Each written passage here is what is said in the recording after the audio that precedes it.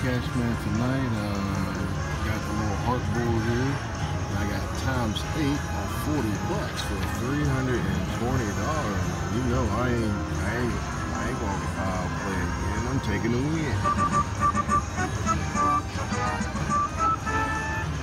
One thing I was laying on times 100 crazy